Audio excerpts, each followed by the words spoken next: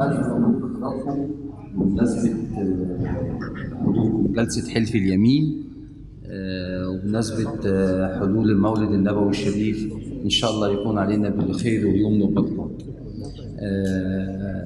المفروض حلف اليمين ده يكون في مبنى النقابة العامة لكن إحنا استعرضنا عنه آه، بالمبنى اللي إحنا موجودين فيه عشان ظروف الإنشاء المبنى الجديد والتطوير اللي بنعمله في مبنى النقابة.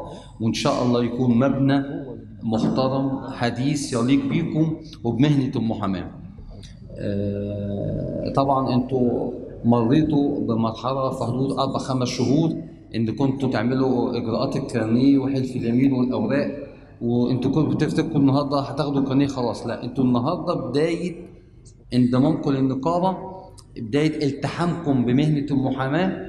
إن شاء الله إحنا في النقابة ما بنسيبكوش بنمد ليكم كل يد العون. آه، معالي النقيب سامح عاشور نقيب المحامين رئيس اتحاد المحامين العرب. آه، توجيهاته إن دعم الشباب في كافة المناحي والمراحل وفي كل ال- ال- الأوقات.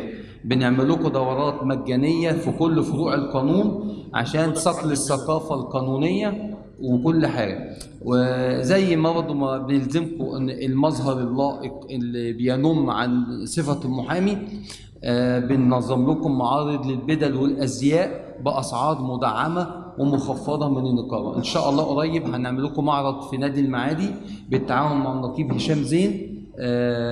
نقيب محامين شمال القاهرة لكل المحامين بأسعار مخفضة ومدعمة تحت رعاية معالي النقيب سامح عاشور.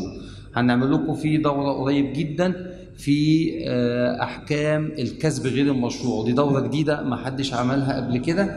دي بنترك مجال جديد ليكم آه، بنتيح لكم فرص عمل بتقتحموا مجالات جديدة من العمل. وألف مبروك وربنا يوفقكم.